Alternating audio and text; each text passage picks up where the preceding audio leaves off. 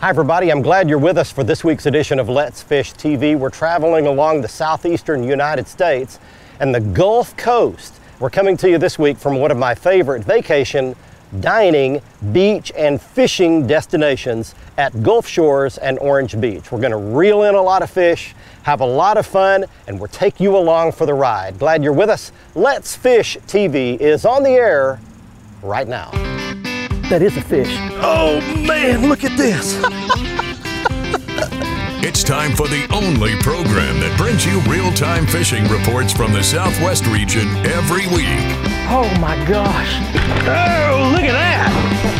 Woo! This is Let's Fish. Boats, boats, and more boats. If you like boats as much as I like boats, you might just love the location we're coming to you from today. Just beyond those boats is one of my favorite vacation and fishing destinations at Gulf Shores and Orange Beach, Alabama. It is home to all shapes, styles, and sizes of boats, and it's also home to some of the best fishing the Gulf Coast has to offer. And we're going to be sampling that today with one of my great friends, Captain Patrick Garmison guides here every day. He stays on the fish and he's going to put us on one of his very best speckled trout locations on this week's episode. We're going to be doing that out of my boat. I want to give you a quick look at my custom built Mamba 24 VX. This boat is tracking with us all up and down the Gulf Coast and Atlantic Coast this season. It's custom designed and built from the floor up by my good friends Jared and Jim Poole at Corpus Christi, Texas, who have a combined 80 years of boat building experience. This boat rides fantastic. It's tricked out with all the fantastic gear from my friends at Waypoint Customs. We're gonna have a great time today fishing out of this machine.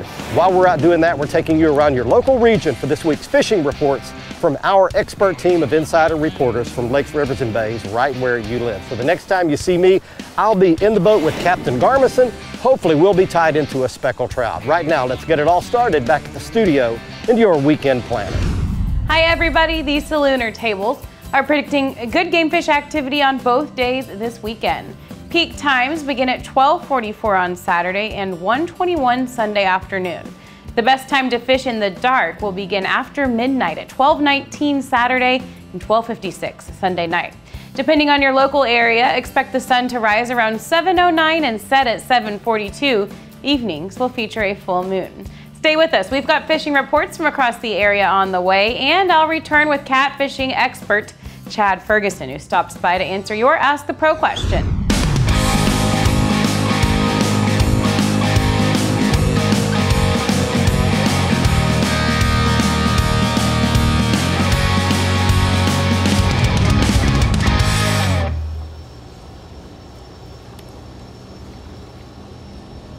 Fish on. It's a trout. Fish on. He pulled off. Dang it. And I wouldn't, there he came back. Whoa, something slammed it. Whoa, darling. something slammed it while I was, I lost the fish and I was trying to reel it back up. Something hammered it. Let's see what it feels like. All right, everybody, we have made it out just after sunup.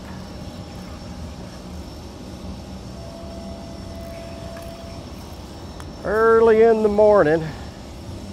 Good trout. A nice one. There we go. There's a start, folks. Chunky fish Look right here. there, my Look friend. how fat that little rascal is. Yeah. Man, just hammered the right fish right here at sunup. We've made it out Gulf Shores, Orange Beach, Alabama. Gonna do some rig fishing today. And look how fat that fish is. Man, what a healthy fish. Yes, sir. I am fishing today with my good friend Patrick Garmison, who does a lot of things for our television show and good friend of ours for a long time. I'm going to release this fish back. We're not keeping fish today. All right. So, Patrick is our on camera reporter for the Southeast region. Patrick, you fish these waters every day. And you get to do this some, but not every day because you have to have the right conditions. That's Uh, right. What are we doing today? So we are doing one of the f- most famous summertime patterns for uh, Mobile Bay, and that's fishing the natural gas rigs. Uh, it's one of those things that is um, it, it happens. It generally starts firing off once that water temperature gets about 70 degrees, and will kind of go all the way through the summer and into the early fall. It's one of those areas that, as long as you've got some nice water movement and conditions where you can come out here and fish, you can generally catch some nice, uh, generally catch some nice fish. And you don't have a 40 mile an hour wind like you guys have had all spring long. well, again, Patrick does our reports along the Gulf Coast for our southeast version of our show. So if you live in the southeast and you see that version, then you see Patrick every week doing his reports. oh, I You got, a fish. Right here beside the boat. Yeah, I was just, I was just hanging on to it. What do we got? Oh, we got a ladyfish. Ladyfish and jumped up. All right, well, it I looks should like, have we're gonna, known better. looks like we're going to have some action today. So hang in here. We'll talk about some of the intricacies of fishing rigs, how to do it, how you set up, how you catch them, and what you catch. But we're off to a good start with a nice speckled trout at Gulf Shores and Orange Beach, Alabama. Hey friends, Captain Kevin Broussard here with this week's Let's Fish Report. I tell you what, we're talking like late summer, early fall fishing across the whole state of Louisiana. Saltwater fishing right now over by Houma, Louisiana, on Bill Lake. The redfish are doing a little transition. They're starting to show up in some of the little deeper passes and bayous that are edges of these bigger lakes. Tell you what, he's catching them on cracked crabs, live shrimp, but lots of big redfish getting caught over there. Offshore, still a few tuna getting caught. Every now and then you still hear another swordfish out of Venice and Grand Isle. Tell you what, snapper season is still open on the weekends. For Old Cajun Phil, Captain Kevin Broussard here at Cajun Paradise Charters in Hackberry, Louisiana, saying happy fishing, may God bless, and see you next week. Audio problem. Fish, fish, fish, fish, fish. It's down, it's down, it's down. Got him. That was close. That was close in here to the boat. Ooh, it's a good pull. Feels like a trout. Loosen my drag just a little bit. All right, he's shaking his head down there. Whoa, and he Holy took off. cow! He saw the boat and took off. I could probably see this fish swimming in here on my active target. Got my Lowrance active target hooked up today just so we can look around and maybe see some of these fish. Good A one. nice trout. Good one. Yes, yeah. sir. That was bigger than the last one. Man, five me one time, buddy. Tell me how you like to set up on these rigs when you're when you're doing this. Let me let me show this fish and get him back in the water. Nice trout. Look at the size of that deal. Beautiful size fish. And we're gonna turn him back. Talk about how you want to set up on these. There we go. I'm using a slip cork rig, by the way, and we'll show you that at the end of the show. But how do you know? Most people would drive right up under the rig or right up to the poles and set up. How do you know where the zone is where the fish are going to be? Well, one fir- the the short answer to that is experience. The the long answer is that there's that there's structure on the bottom around all of these gas platforms in the bay that the Alabama Marine Resources put out several years ago. They put out limestone to enhance the bottom because just the vertical structure alone only attracts certain species. Once you put bottom structure, then you attract other species, and the speckled trout are one of those that really like the bottom structure. So if you if you can come out here when there's not any other boats and just scan around and look for where the rocks are, then you can have a much better idea of where to at least start fishing. Well, so if you've got good electronics, like we've got the good Lowrance HDS display units here, and I've got my active target, and we've got side imaging where we can look out to both sides, and down scan where we can scan straight down and get a 3D image of what's on the bottom. That's how you find this kind of stuff. It's just a lot of driving around, a lot of looking. All right, we still have the sun kind of up off the horizon a little bit. It's still early. We got a good start catching them off the rigs today, and that is a lot of fun. Let's Fish TV is proudly backed by Lew's, Feel the Difference, Mamba Boats, Ride with Pride, Strike King, Taiwan On, Glacier Glove. Stay outdoors longer with our gloves, hats, and shades. Fishing Specialties, makers of the premier mount assembly for live sonar. Nope, he went over the net and in it. Look at here. Man. Look at that pig.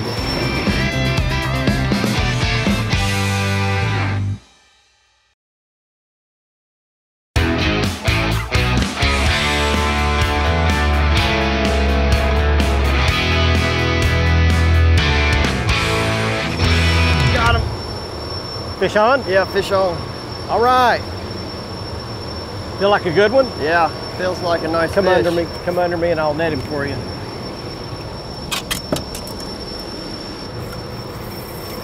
Whoa! That is Wow. a, that is a trout right there. Unbelievable. I want to make sure one doesn't get in my rod back here. And that drag pull was not for TV. That was a real. Oh That yeah. was all look at this- real. Look at the size of this bad boy. Nope, he went over the net and in it. Look at here. Man. Look at that pig. Oh my gosh. Patrick, what have you done, my man?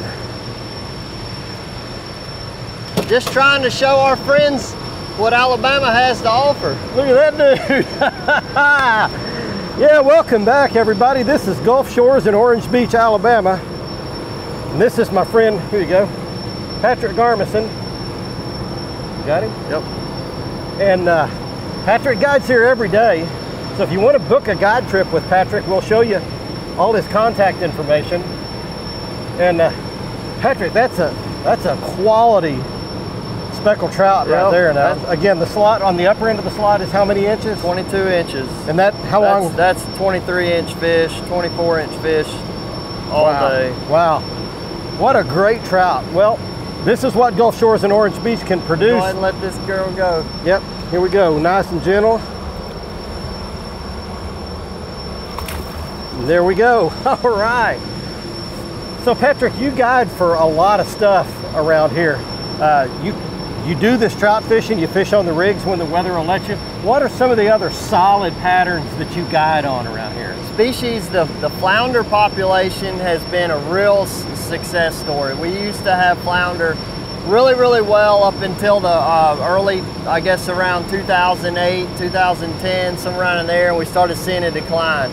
The last couple years, the first two years, that I can positively say that if you want to go flounder fishing, you can be able to go catch you a few flounder. We actually Uh, did that earlier in the year. You're looking at a couple of shots of some flounder that I caught, not even knowing what I was doing. I just came here, dropped the trolling motor, started fishing, and caught some nice flounder. redfish population's in pretty good shape and we can catch them in the slot size and then we then there's certain times of year where we can go out and target the great big bull reds and uh, and then also I'll do a lot of near shore stuff where we'll go out in the Gulf and we'll catch red snapper, Spanish mackerel, king mackerel, kind of anything that bites out there. You're That's- looking at a couple of shots here of a couple of years ago. Patrick and I went out on a near shore reef and caught some really nice red snapper. and I'm forgetting about my one of my most favorite species is sheephead. All right, yeah, you've got the record, right? That's right. What is your record? 13 pounds, 14 ounces. Holy, and that's the record for it's a state For record. Alabama, yes, whole sir. state record holder for sheephead right here. So, if you want to come fishing here, this is a great destination. Also, we're going to give you the web address for uh, Gulf Shores and Orange Beach. All the tourism opportunities, white sand beaches, turquoise water, fantastic dining, all kinds of fun activities for the kids to do. and all the information right there at the Gulf Shores and Orange Beach website. Community Neighborhood Farm. We've got thousands of ponds and just about all of them offer some type of fishing and man, that can be a great resource this time of year. Get the family and go. Now, a best way to approach those is with a small bait like a crappie jig and fishing under a float. If you do that, it gives you great versatility because it's keeping you off the bottom where you can possibly hang up. It's also presenting a very natural presentation of that bait in these waters that are often full of small prey items like grasshoppers and crayfish and minnows. Go with the smallest bobbers you can and think of small hook and small jig. If you're going with live bait, a long shank number six gold Aberdeen hook is a great option if you're going with a crappie jig. And don't think that even the smallest ponds can't produce something big. You're going to often be surprised with a big bass or a catfish. Man, that can be a lot of fun in those ponds on light line. Hey, pond fishing, you need to check it out, but you can't catch them if you don't do. Let's Fish TV is proudly backed by Mercury. Go boldly. Lowrance, America's number one fish finder. Gulf Shores and Orange Beach, Alabama. Plan or book your fishing charter at orangebeach.com. Motor Guides Tour Pro with GPS anchor, powered by Passion. Coastline Trailers, built by fishermen for fishermen.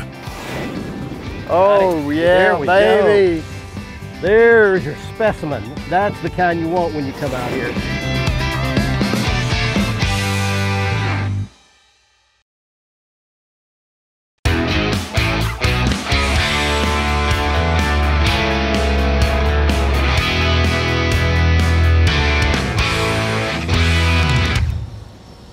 All right, we've got a fish on. Welcome back, everybody. We are at Gulf Shores in Orange Beach, Alabama today, fishing with my longtime friend and our Southeast reporter for saltwater, Patrick Garmison. He guides here every day of his life, and we've come out today fishing natural gas rigs. I see you've got your drag set properly because he stripped some off. Right there on a big long run, you've got to have your drag set right.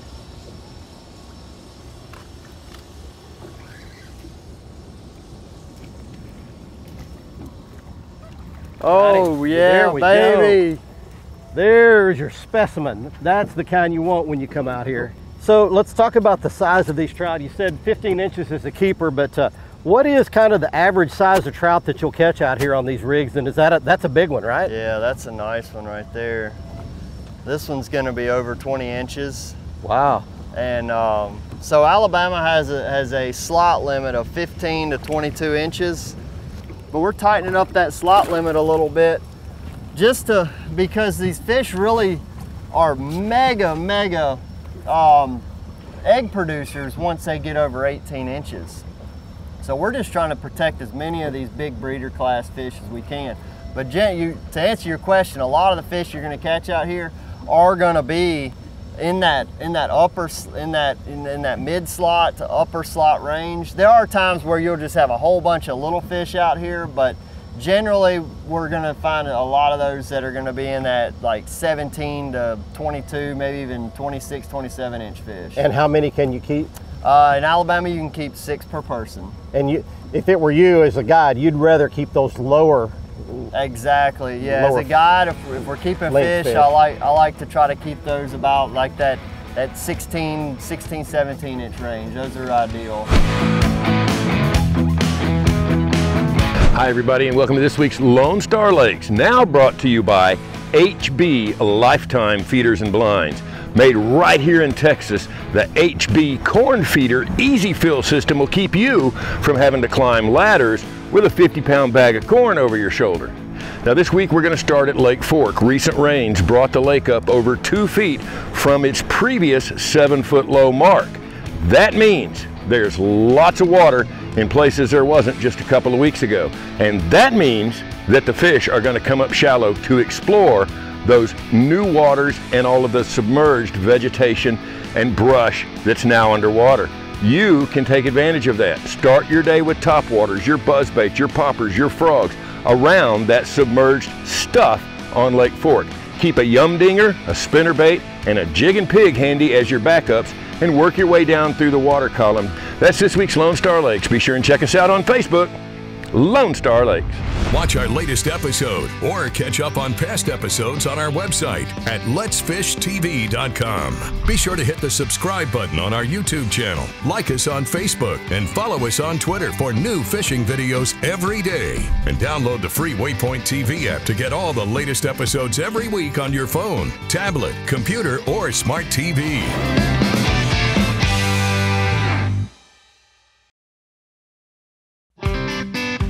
Let's Fish TV is proudly backed by Academy Sports and Outdoors, making it easier than ever to gear up and have fun out there. Visit Mississippi. Wanderers welcome. Power Pole, total boat control. Balls out, made in the USA. Heavy duty mounts for your fish finders. Welcome back, everybody. Let's get right on to your Ask the Pro question for this week.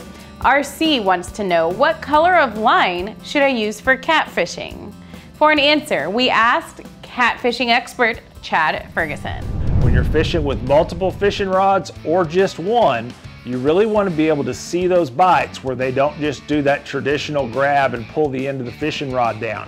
So I like high visibility fishing line like this bright orange line so I can really see what's going on. I can tell where my spacing is with those multiple fishing rods and then I can detect those bites when those fish run sideways or pick it up and swim towards the boat. Thank you so much, Chad, for that insight. If you too want some help from one of the pros, simply go to letsfishtv.com, follow that Ask the Pro link to submit a question. Here's today's Right Stuff presented by Academy Sports and Outdoors.